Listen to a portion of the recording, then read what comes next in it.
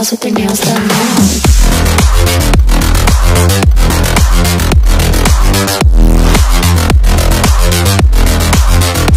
Girls with their